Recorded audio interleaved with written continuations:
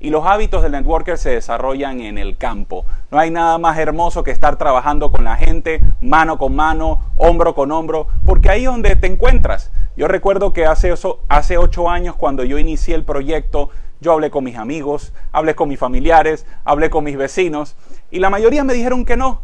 Pero ¿por qué me dicen que no? Porque realmente en ese momento pues yo, yo tenía una formación como corporativo, las cosas eran de una manera, eh, yo estaba establecido en un puesto donde no tenía liderazgo, más bien las, las cosas funcionaban de manera gerencial y me di cuenta que en este negocio tú no puedes dar lo que no tienes y debes crecer, debes obtener ese crecimiento y ese crecimiento se da por estar en contacto con la gente, por estar conectados con la gente, por crear relaciones con la gente. La gente va a entrar contigo en este negocio por lo que ve en ti, por tus niveles de convicción, por tu pasión, por tu alegría, porque estás contento, porque te estás divirtiendo y porque tú tienes un propósito que es mucho más grande que tus excusas. Mi propósito hace ocho años era liberar tiempo. Yo pasaba viajando todos los lunes al Salvador y regresaba todos los sábados a mi casa. Yo no tenía tiempo. De hecho, en mi casa no, hacía falta nada. El único que hacía falta era yo. Cuando me encuentro con Antonio y hacemos este plan de acción, Antonio me dijo, Guillermo, tú en este negocio te puedes hacer libre de dos a cinco años. En ese momento estábamos en, haciendo el plan de acción, creando la meta, creando el plan. Y en mi mente yo no, yo no lo podía creer, claro, porque yo venía del mundo corporativo, venía a estar estudiando y es muy probable que tú has hecho lo mismo y es muy probable que tú quieres avanzar, quieres avanzar y quieres liberarte de todas esas cosas que te ayudan. Entonces en, en ese momento Antonio me dice, dos a cinco años Guillermo, podemos hacer un plan, ya hay un sistema, ya hay un equipo con el que podemos hacer la sinergia y tú puedes avanzar. Y yo me quedé pensando, un lado de mi mente no le creía, el otro lado de mi mente quería creerle, pero el, lado de mi mente que no le creía no sonaba lógico. Seis de primaria, seis de secundaria, cinco de universidad, dos de maestría, 12 años en el corporativo, para mí era imposible. Claro, venía con otra mente, tenía una mentalidad de empleado. Y me tocó trabajar con la mentalidad empresarial. Pero en ese momento, en mi casa estaba pasando algo. Yo estaba a punto de perder mi familia, estaba a punto de perder mi matrimonio. Y estos negocios son emocionales. Y allí mismo yo le dije a Antonio, yo no puedo hacerlo en dos a cinco años. Yo tengo que hacerlo en uno porque si no yo pierdo a mi familia. En ese momento Antonio me, miró así con, con asombro, con peló los ojos y se pactó la meta. Se pactó la meta que daba el plan. Yo me fui a mi casa, lo conversé con mi esposa y mi esposa me dice, Guillermo, ¿qué me estás contando? Espérate, párate allí. Ese proyecto va a ser que tú estés más en casa. Y yo le dije, sí, mi amor. Y mi esposa me dijo, cuenta conmigo. Así que Antonio y yo establecimos una meta, establecimos una meta con el mentor y le pusimos un plan de acción. Y el plan de acción era conectar gente, conectar gente, conectar dónde? A las casas. Conectar a la gente de forma ininterrumpida en las casas e ir formando un equipo de trabajo conectando a los escenarios del sistema. Casa, reuniones centrales, eventos, convenciones. Yo no, yo no sabía nada de esto. Yo soy ingeniero electrónico de profesión, sabía de telecomunicaciones, sabía de teléfono, sabía, yo no sabía de esto. Pero algo que yo sí tenía claro era de que Antonio estaba conectado con un equipo que sabía cómo hacer esto, que sabía dónde, dónde, dónde se podía ir, dónde se podía llegar, porque había un sistema educativo. Y eso a mí me llamó poderosamente la atención, porque había cero improvisación. Y para mí crear los hábitos para, de un networker fue muy sencillo, porque simplemente copié, me dejé guiar de los que ya tenían los resultados, de los que ya tenían libertad, de los que ya habían conseguido lo que vinieron a buscar en este proyecto. Y yo estoy seguro que tú que me estás escuchando aquí, tal vez estás muy cerca, estás muy cerca de conseguir lo que estás buscando. Y en este preciso momento tú puedes, puedes ir muchísimo más rápido si vamos a la casa, si movemos a la gente de manera masiva a las reuniones centrales y a los eventos. el tema de, presentar la propuesta, cuando tú presentas la propuesta, cuando presentas el plan de negocios en las casas, es el mejor, el mejor momento donde tú puedes crecer, donde tú puedes avanzar. Se te van a presentar obstáculos, se te van a presentar retos, pero precisamente esos obstáculos, esos retos que se te presentan con, los diferentes, con las diferentes personas, son los obstáculos que te van a hacer crecer. Son los obstáculos que te van a hacer un mejor líder, subir de nivel. Y cuando tú subes de nivel, ahora empiezas a ver eh, el proyecto de otra perspectiva. Y personas que tal vez tú no te atrevías a hablarle, ahora le hablas. Porque te sientes capacitado. Y no solamente capacitado, te sientes empoderado por un equipo. Y hay una sinergia que tú estás haciendo con las personas que te están apoyando a construir el negocio. Y el plan de la oportunidad es el mejor momento para, para tú duplicar, para, para modelar a tu equipo que puedes hacer esto en grande y se pueden presentar grandes masas en planes en la casa. ¿Tú te imaginas que tú arranques con los planes en la casa y que el día de mañana no solamente sea la reunión que tú estás haciendo en casa, sino que haya 10, 20, 30, 100 reuniones en casa el mismo día? Imagínate a la velocidad que pudiese crecer tu negocio. Y ahora que toda esa gente vaya a un seguimiento o que lo pueda cerrar allí. Increíble. Pero eso sí, no necesariamente las personas van a cerrar ahí. Por eso que tienes, tienes que tener el hábito de agarrar todas esas personas y agendarla para verlo por segunda vez. Intercambiar un material para tener la excusa de volverlo a ver. Lo ideal obviamente sería que, que tomen la decisión de inmediato de hacer estos planes bien emocionales. No tan técnicos sino emocionales. Contar, contale tu historia. Cuéntale por qué tú te sientes contento en hacer este negocio. Cuéntale de tus planes. Cuéntale lo que tú quieres lograr con esta gran oportunidad. Cuéntale de los testimonios. Cuéntale historias, edifica las historias, edifica la persona que va a estar en la reunión central, que tengan el deseo de estar en la reunión central. Cuéntale más bien de la historia y del equipo al que tú, perteneces y vas a ver cómo vas a mover cientos de personas a la reunión central.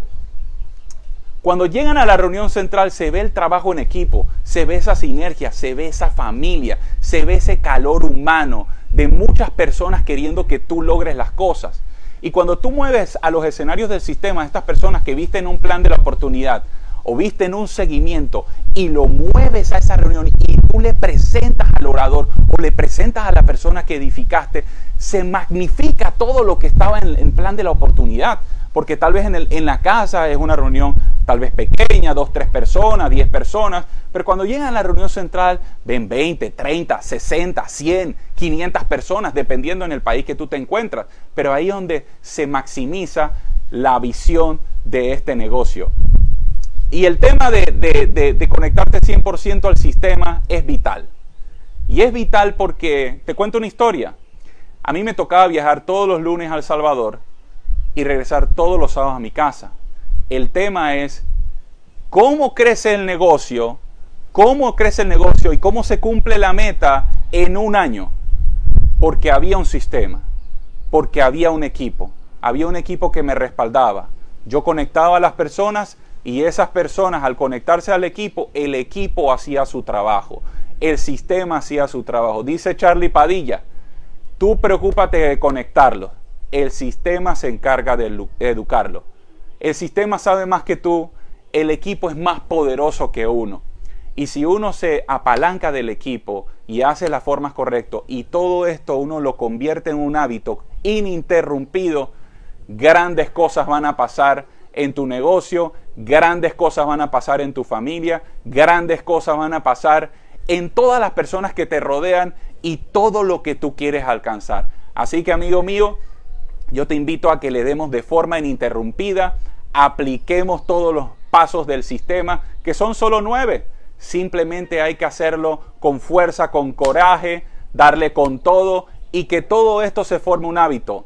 Todo esto se forme un hábito. Le das, tan, le das tantas veces a la semana, tantas veces a la semana que ya es como manejar un carro. Las primeras veces te va a costar manejar el carro, las primeras veces te va a costar montar una bicicleta, pero luego lo haces tan natural, tan natural que ya es algo parte de ti. Haz parte de ti esta oportunidad, diviértete, pásala bien y trabaja por tu sueño, trabaja porque son cosas grandes lo que vienen y el futuro te espera. Así que para mí ha sido un placer compartir con ustedes acá en Zen Builder. La verdad estoy muy contento. Vienen cosas increíbles para el equipo, vienen cosas grandes para la compañía y tú eres parte de esto. Así que vamos en grande y sueña en grande. Gracias, Gracias Guillermo, muchas, muchísimas gracias. Eh, ya eh, eh, hemos el día de hoy pues aprendido conceptos sobre lo que son los hábitos empresariales en redes de mercadeo, pero quiero que sepa que mira, nos quedan cinco meses, cinco meses Cinco meses para nuestra gran convención en Orlando, Florida. Yo no sé dónde tú vas a estar en septiembre del 2019, cuando se abran las puertas del Oren Convention Center, pero el lugar como líder, el lugar donde tú debes de estar, el lugar donde tú le dices que sí a tus sueños, es estar presente en nuestra convención en Orlando, Florida. Líder que me escucha, estás a tiempo. Reserva tu pasaje, reserva tu hotel, compra el paquete de taquillas para que puedas tener la entrada. Vayan organizándose, porque si tú eres el líder, tú estableces el ejemplo como líder. Tú eres el que vas a ser un facilitador para que tu gente pueda estar presente en esta gran convención que va a impulsar y que va a lanzar esta compañía al primer billón. Óigame, un billón, va, esa es la meta de, de alcanzar. ¿Y por qué significa lograr el primer billón? Significa muchas familias transformadas, muchas familias cambiadas con esta gran oportunidad. Guillermo, ya estamos listos para la convención, ¿no? Estamos listos para la convención y eh, por ahí yo, yo, escuché un, audio del platino Ángel Molina. Dice Ángel Molina, mueve 100 personas a los escenarios del sistema y hará 100 mil dólares al año.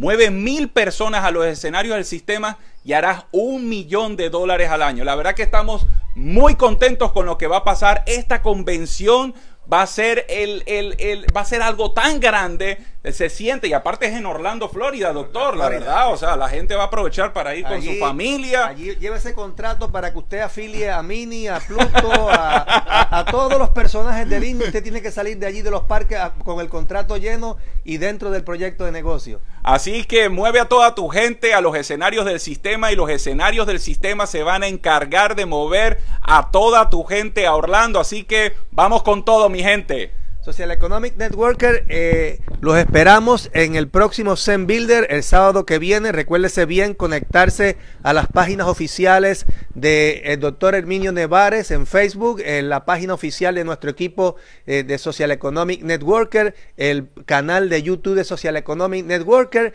y seguir compartiendo esta serie de videos para seguir capacitándonos, capacitándonos y educándonos. Recuerda que conocimiento es poder, pero el conocimiento es poder cuando tú lo pones en acción y le das con todo para que, para que las cosas ocurran. Mucho éxito y nos vemos el próximo sábado. Dios me los bendiga mucho.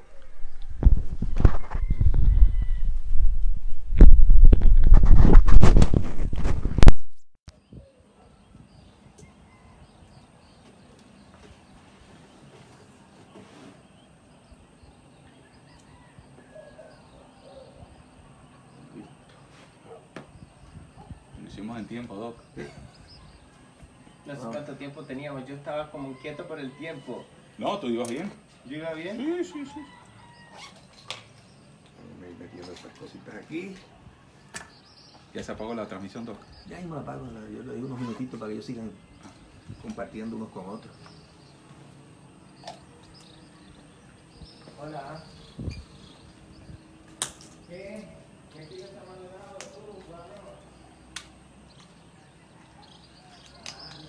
Siempre dejo un minutito para que, la gente ahí se salude, ¿no? Sí, se saludando con otros. Gracias. Está llamando para que lo apague. la gente me llama para que lo apague. Mira, se tengo prendido.